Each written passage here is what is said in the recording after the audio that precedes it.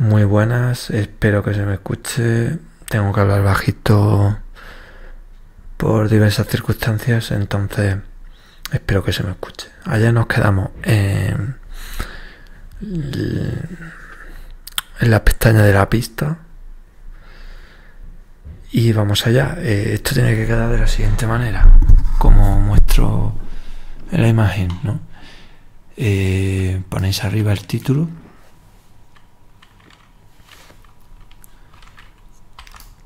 Luego, aquí si es un remix, ponéis el tipo de remix.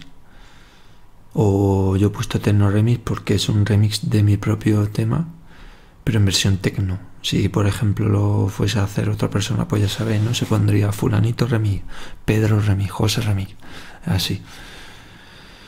Esto básicamente es eh, a nivel informativo porque se supone que ayer cargamos el tema, si no nos gusta pues le damos a borrar audio y ya volvemos a cargar otro, otro audio. En el artista primario se trata de escribir aquí el nombre y una vez que esté escrito le damos a añadir artista y si no pondrá aquí. Tiene que ser el mismo artista que en el álbum. Aquí el estilo, generamos, seleccionamos el que nos guste Aquí el segundo estilo, género secundario. Y aquí tenemos que poner el mismo nombre y apellidos que pusimos ayer en la pestaña de, de licencia.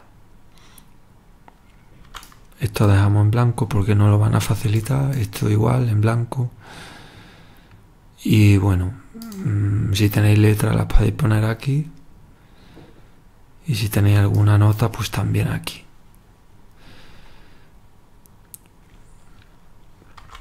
Esta casilla es por si tenemos un álbum, pero aparte también queremos que se pueda comprar el tema suelto. Cuando tengamos todo le damos a Save, aquí,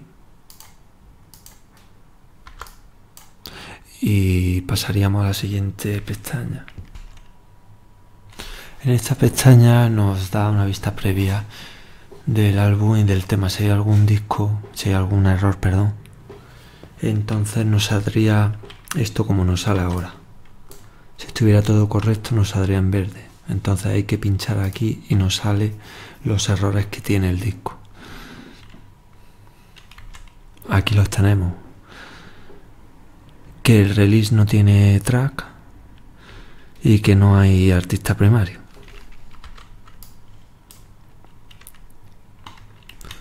Así que voy a corregir esos errores. ¿Veis? Como podéis comprobar, lo que tengo puesto es productor. Pero cuando solo hay un artista o... Bueno, lo que quiero decir es que siempre tiene que haber un artista primario, independientemente de que haya otros colaboradores. Entonces, voy a poner mi nombre como artista primario y no como productor y el productor lo voy a borrar. Mm, le damos a Save. Y ya podemos volver a vista previa y distribuir. Eh, bueno, antes dije que era verde, cuando el disco no tiene errores, te sale en naranja. Así que ya podemos darle. A veces la página es un poco lenta, pero no se preocupe, que necesita su tiempo. Lo siguiente que nos sale es aquí para seleccionar las tiendas donde queremos enviar. A Vipo no podemos porque necesitamos un sello. Seleccionamos a nuestro gusto y le damos a siguiente.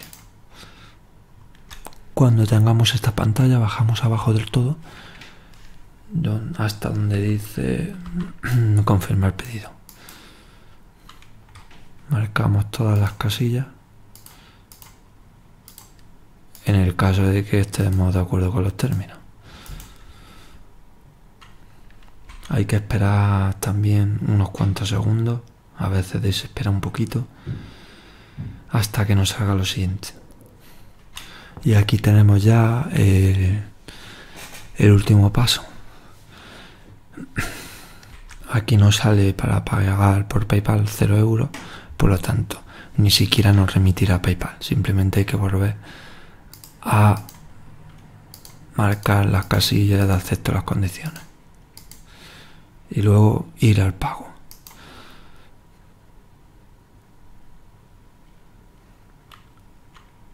Esto es un poco lento, para mí es lo que más tiene que mejorar eh, tanto Zagan Music como la Cúpula Music que utilizan el mismo, la misma web, el mismo servidor, el mismo sistema o lo que sea.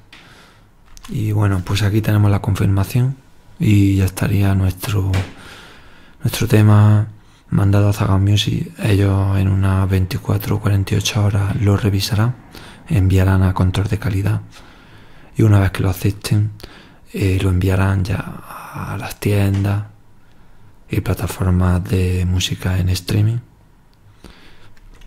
y luego ya depende de cada una eh, el tiempo que ellas necesiten para hacerlo público en su respectiva plataforma y ya hemos terminado si tienen alguna duda o algo pues la dejáis en los comentarios Espero haber hablado lo suficientemente alto.